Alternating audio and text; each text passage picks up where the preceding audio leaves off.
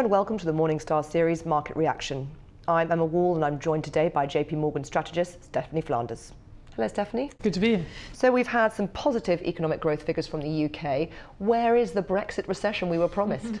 Well, if we actually go back to look at what economists were saying before the referendum, there were very few that were predicting a significant imminent recession or a big financial crisis. I think everyone is rather sort of misremembering uh, now that things have turned out so differently.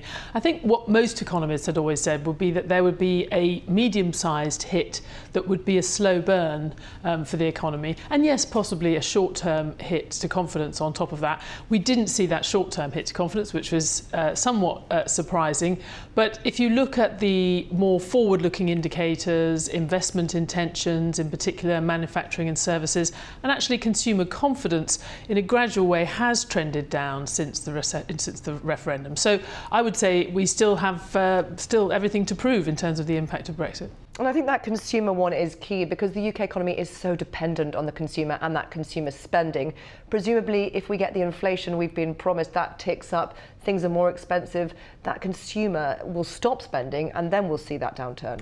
Yes, and I think that is why 2017 feels like a bit of a crunch time for uh, the economy and for some of those predictions because, as you suggest, you're going to suddenly have real wages go back into negative territory or certainly not to be increasing very much after after a couple of years when they've actually been doing quite well. But if inflation is going ahead of wages and if consumers feel affected by that, then yes, we have seen them in the past cut back spending.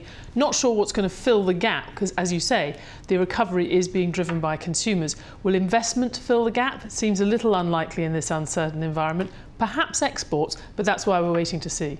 And a key player in this game is, of course, currency. It's the thing that means that we're going to get more inflation, but it's also the thing that has been pushing up, providing a tailwind for the FTSE 100. Will this continue to be so? Well, I think there were structural conditions in the global economy that we had thought from the start of last year were favourable to UK large cap equities, which of course is the lion's share of the FTSE 100 and the broader share stock market. So I think there were reasons such as the recovery of global commodities, improvement in prospects in emerging market economies that would be supporting earnings growth in those sectors anyway. But yes, the pound has certainly helped. And we may, uh, if we start to see um, some weakness in further weakness in the pound, that could be an extra tailwind. Uh, but I do think there are fundamental forces supporting UK equities. So not so good for the consumer looking to spend a little bit more, having to spend a little bit more in the supermarket, but positive then for UK PLC. Well, it's the same old dynamic that we had in reverse in the last few years when the UK economy was doing quite well. We were warning investors don't feel when you buy a UK stock that you're necessarily getting a piece of that recovery because the UK stock market is so outward facing, is so externally driven.